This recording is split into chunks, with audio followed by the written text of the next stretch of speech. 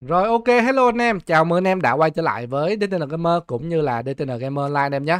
Và hôm nay thì mình sẽ tiếp tục cái series gọi là uh, giải thích duyên phận cũng như là mình sẽ vận dụng áp dụng duyên phận đó vào trong một số trường hợp được chưa anh em. Mục đích chính của mình là sẽ giúp cho cái tựa game nó dễ hiểu hơn. Và đây là một cái nội dung có thể nói là rất nhiều anh em đã hỏi được chưa anh em. Nên là mình sẽ nói chung là season 0 và season 1 hỏi liên tục luôn mà mình có giải thích trên livestream á nhưng mà mình chưa có tổng hợp lại và làm clip cho anh em được nên hôm nay mình quyết định làm luôn trong cái series này được chưa anh em trước mắt thì sau may mắn thì chúng ta có thể kiếm được ở map hải tặc nha anh em. Map hải tặc. Đây nó có sao may mắn đây. Và ngoài ra thì anh em cũng có thể chế tạo từ cái set hải tặc. Đây set hải tặc từ chỗ uh, này đây anh em. Đây set hải tặc đây. Cho anh em thấy nhá. Set hải tặc của chúng ta nó nằm ở đâu đây nè? Trên này trên này trên này trên này. Đấy thì set hải tặc này nó sẽ có sao may mắn. Và nhiều anh em thắc mắc là sao may mắn thì nó là cái gì? Thì đầu tiên mình chỉ cần bấm vô mình đọc. Thì cái này nó dịch rất là chính xác nha anh em tăng xác suất kích hoạt hiệu ứng. Thì cái gì là hiệu ứng thì nó sẽ tăng xác suất kích hoạt đơn giản vậy thôi. Nhưng mà nó sẽ khác biệt một chút. Anh em có thể phân biệt giữa nó và tăng mạnh hiệu ứng. Được chưa anh em? Mình sẽ giải thích luôn cho anh em trong video này. Được chưa? Rồi thì áp dụng ở mùa này nếu mà anh em đã từng xem clip build lãnh chúa của bạn sĩ đinh á 999 ms á thì bạn ấy có build một con lãnh chúa với hai máu hắc kỳ sĩ. Sau đó thì có duyên phận sau may mắn. À, sau may mắn hắc thần. Mục đích chính là khi mà mình có hai món hắc kỳ sĩ ở đây thì anh em thấy nè thì mình sẽ có một cái điều đó chính là uh, đây dư phận đây dư phận đây. Thì khi mà mình có hai cái món khắc kỳ sĩ á, thì chúng ta sẽ có 20 20 phần trăm xác suất kích hoạt kèm mức máu. Và sau khi kết hợp chung với lại một cái sao may mắn khắc thần ấy thì chúng ta được thêm 50 phần trăm nữa. 50 phần trăm nữa anh em. Nè đây nó ghi là tăng 50 phần trăm xác suất kích hoạt. Vậy là tổng cộng 50 cộng với lại à, 20% là 70%. Có nghĩa là mình sẽ có thêm 70% xác suất đánh thêm phần trăm máu và nó giúp cho con lãnh chúa nó mạnh hơn rất là nhiều. Anh hiểu vấn đề chưa? Tạm thời hiểu chưa? Nên là tăng tăng mạnh những cái hiệu ứng nào mà có lợi cho bản thân mình á mà mình kích hoạt á. Được chưa anh em? Có tỷ lệ kích hoạt thì nó sẽ làm tăng tỷ lệ kích hoạt. Được chưa anh em? Đó là sao may mắn hắc thần. À, trong những trường hợp ví dụ anh em build lãnh chúa thì anh em có thể build thêm cái sao may mắn này. Thứ nhất là nó sẽ giúp cho anh em à, xài hai món hắc thị sĩ hoặc ba món hắc thị sĩ giúp cho anh em ra hiệu ứng đốt máu nhiều hơn. Được chưa anh em? Và trong trường hợp thứ hai á là nó cũng có thể giúp anh em gây choáng nữa. Ví dụ như lãnh chúa nó có một cái bản lính canh mình nhớ không nhầm nó sẽ có uh, có tỷ lệ gọi là gây choáng hoặc là tỷ lệ gây làm chậm gì đó thì với cái sao may mắn này nó cũng sẽ bổ trợ giúp cho choáng nhiều hơn và cũng như là giúp cho đóng băng giúp cho gây sát thương ví dụ như những cái dạng ví dụ như là lửa đốt. Đó nói chung là cái nào mà nó có tỷ lệ phần trăm kích hoạt á thì nó sẽ ra liên tục, nó sẽ nhiều hơn. Được chưa nè? Cái sao may mắn là như vậy. Ha. Đó, mục đích là như vậy. Ở đây là mình hắc thần là tại vì á, từ độ hắc thần thì mình sẽ chỉ cần một slot thôi, mình bỏ vào nhưng mình chỉ được một nửa thôi ha 50 trăm thôi ha. Nhưng mà nó sẽ giúp cho anh em build lệnh chúa mạnh hơn rất là nhiều. Được chưa?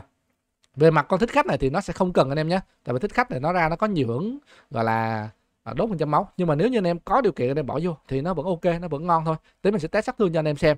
Còn ví dụ như khi mà anh em kết hợp với lại ba món luôn thì ví dụ như đây mình có ba món luôn thì chúng ta sẽ có ba sao may mắn. Thì ba sao may mắn nó sẽ tăng xác suất 100% xác suất kích hoạt hiệu ứng. Có nghĩa là bây giờ nó sẽ lúc nào nó cũng sẽ có hiệu ứng gọi là đánh thêm phần trăm máu cả blitz cả, hoặc là choáng cả, hoặc này nọ cả.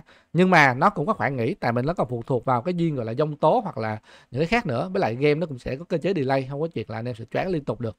Được chưa anh em, tất nhiên là nó không thể choáng liên tục được rồi. Và nó cũng có thể kèm cho những cái hiệu ứng nào mà nó có tỷ lệ phần trăm được chưa anh em. Đấy. Ok, đơn giản không anh em? Ha, ví dụ như mình có hai hắc sĩ thì nó sẽ tăng tỷ lệ cho mình đánh à, ra cái phần trăm ờ, uh, mất máu từ hồn hắc sĩ. Giả sử như thích khách thì mình sẽ có một số cái hệ kỹ năng gọi là đánh theo phần trăm máu. Giả sử như cái này thì anh em thấy nè có tỷ lệ gây ra mất máu.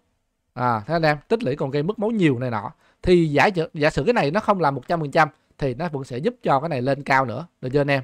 Rồi trong một số trường hợp thì anh em có thể vận dụng anh em bỏ vào trong con bet. Ví dụ như anh em có con bet Thái Lan thì anh em có thể bỏ hai cái anh em có thể bỏ cái sao may mắn này vào hoặc là anh em có thể kết hợp luôn với lại ba sao may mắn vào thì nó sẽ có cái hiệu ứng gọi là uh, rất tiền liên tục. Tại vì anh em để ý nè ở đây nè khi độ thương bạc đặt cấp 1 thì chúng ta có 25% xác suất kích hoạt rất tiền rất xu vàng. Thì mình sẽ giúp cho con bet này có thể kiếm được nhiều tiền hơn nữa ok? Tăng tỷ lệ rất xu vàng. Đó nó đều áp dụng được. Và cái bill này thì thực tế là bên Trung Quốc họ làm rồi ấy nhưng mà mình lười mình chưa có làm lại cho anh em. Tại vì mình chưa farm được cái đồ mà có hai viên đôi á. Được chưa anh em để có dịp khác mình làm lại rồi thêm áp dụng nữa. Nếu mà anh em chơi cái uh, ninja thì mình sẽ có một cái vũ khí khá là thú vị. Đó chính là cái mỏ cái nỏ hải tặc này. Thì cái mỏ này hải tặc này thì thứ nhất chúng ta sẽ kết hợp được cái hồn vua hải tặc. Và khi tấn công cái địch sẽ cướp được xu vàng. Sau đó thì mình sẽ tăng xác suất kích hoạt hiệu ứng. Vậy là với cái này thì mình dùng con hải tặc thì mình sẽ farm được rất là nhiều vàng luôn. Được chưa anh em? Anh em nào mà chơi uh, đồ này thì chúng ta có thể dùng để đi farm vàng đó.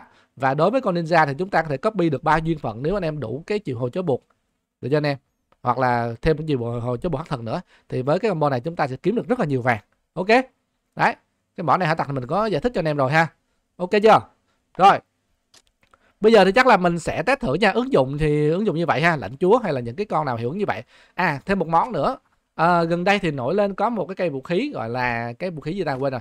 Mình đang kiếm không biết là mình còn lưu trong đây không đó chính là sách trần thế và trượng tiên tri thì sách trần thế và tượng tiên tri thì nó sẽ có cái hiệu ứng gọi là uh, ví dụ cái món đó kết hợp với lại hai món hắc kỳ sĩ thì nó sẽ đánh theo phần trăm máu. Thì anh em có thể xem cái video ở trên góc bên phải á, hoặc là dưới phần mô tả comment á thì nó có để một video uh, sử dụng cái đó. Thì khi mà anh em kết hợp thêm một cái viên sao may mắn hoặc là sao may mắn hắc thần gì đó thì nó sẽ giúp cho cái hiệu ứng đó nó ra liên tục luôn và giúp cho anh em đánh những cái boss tầng cao hiệu quả hơn. Được chưa anh em? Rồi bây giờ thì mình sẽ test thử sát thương cho anh em xem nha. Đầu tiên thì mình sẽ bỏ hết tất cả mọi thứ nha anh em. Và mình sẽ xoay thử. Anh em để ý cho mình nha. Anh em để ý kỹ nha. Anh em để ý kỹ nha. Đây, ví dụ như mình xoay đây. Thì anh em thấy là lâu lâu nó sẽ lên 5244 5244 5244 mà nó ra rất là chậm, đúng không anh em? Anh em để cái cái sát thương màu tím đó nha. Tại vì cái đó nó tính là mất máu đó. 5244 5244 ok. Nó sẽ lâu lâu nó sẽ ra. Có lúc nó ra có lúc nó không ra, đúng không anh em? Công nhận không? Bây giờ mình giả dụ như mình bỏ thêm cái sao may mắn vào ok, mình sẽ bỏ hết tất cả sao may mắn vào. Rồi, mình bỏ luôn cái giày vào sao may mắn vào. Thì nếu đúng thì nó sẽ nhiều hơn. Và anh em để sát thương nè 45 ngàn nè. Bây giờ nếu mình bỏ vô mình xoay nè. Đó, thì anh em thấy là nó nó sẽ nhanh hơn và cũng như là sát thương nó sẽ lên cao hơn. Tại vì cái tỷ lệ ra sát thương mất máu nó sẽ cao hơn rất là nhiều anh em. Kết hợp chung với lại dông tố nó thì nó sẽ mạnh hơn.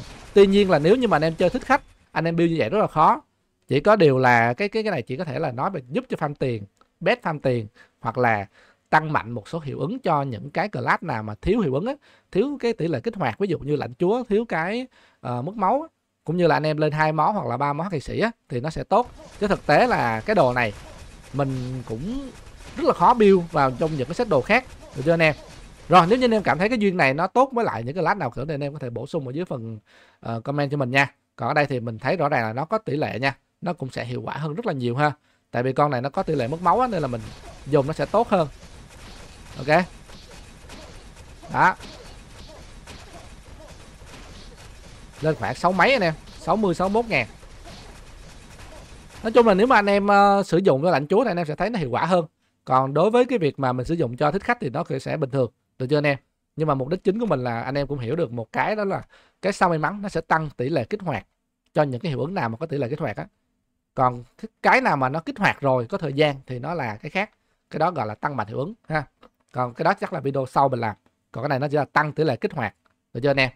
Ok. Rồi, bye bye. Hẹn gặp lại anh em trong các video sau. Cảm ơn anh em đã theo dõi nha.